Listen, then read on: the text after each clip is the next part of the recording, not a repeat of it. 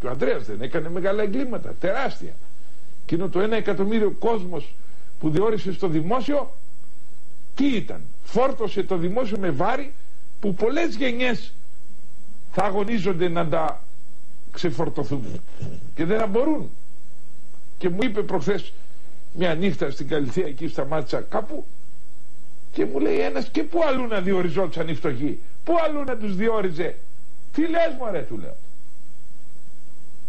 τι δουλειά κάνεις; Μου λέει έχω αυτό το μαγαζί αν σε υποχρέωνας σε αυτό το μαγαζί να διορίσεις 100 γιατί έχω ανέργους φίλους και θέλει ψήφους η Ένωση Κεντρών.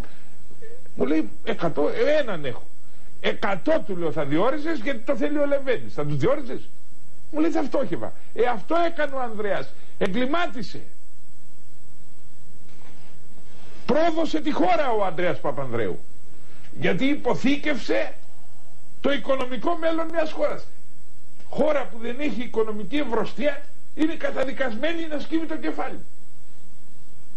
Μπορεί να ωφέλησε ένα εκατομμύριο κόσμους γιατί έδωσε ψωμί αλλά αυτό το ψωμί το βγάζει μαρδώντας τον υπόλοιπο κόσμο. Το κλέβει βγάζει την μπουκιά από το στόμα του υπόλοιπου κόσμου.